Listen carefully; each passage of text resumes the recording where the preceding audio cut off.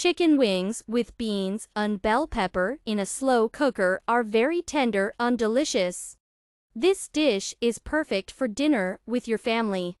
You can serve it with your favorite side dish or fresh vegetables. Wash the wings, put them in the bowl of a slow cooker, add oil and seasoning, add the beans and bell pepper, add water, tomato paste, dill and salt to taste.